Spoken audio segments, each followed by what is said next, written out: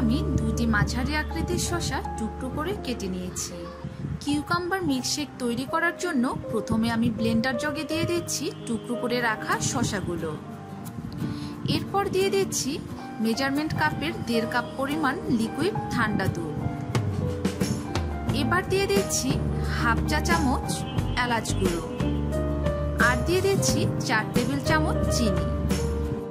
চিনিটা আপনারা আপনাদের স্বাদ মতো কমিয়ে বা বাড়িয়ে নিতে পারেন। তবে যদি আপনি ওয়েট লসের জন্য শশার জুস খেতে চান, তাহলে অবশ্যই চিনির পরিবর্তে মধু ব্যবহার করবেন। এই ছিল সব উপাদান। এখন ব্লেন্ড করার পালা।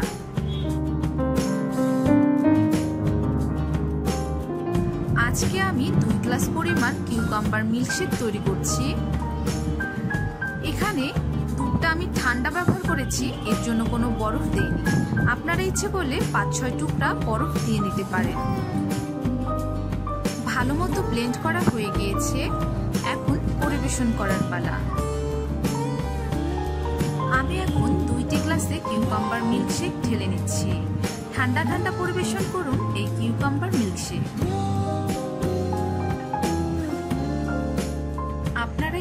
ইচ্ছে কিচেন নর্মাল চেম্বারে রেখে পরেও পরিবেশন করতে পারেন।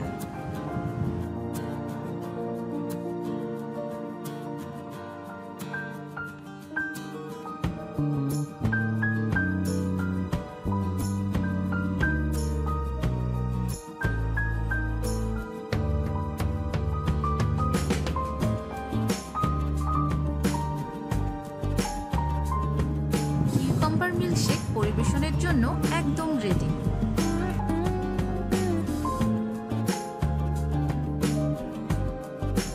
আশা করছি আজকের রেসিপিটাও আপনাদের ভালো লেগেছে।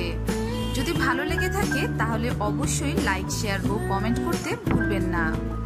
আর আপনি যদি আমার চ্যানেলে নতুন হয়ে থাকেন, তাহলে এই রকম স্বাস্থ্যসম্মত রেসিপি পাওয়ার জন্য আমার চ্যানেলটি সাবস্ক্রাইব করে পাশে থাকবেন। সুস্থ থাকবেন, ভালো থাকবেন।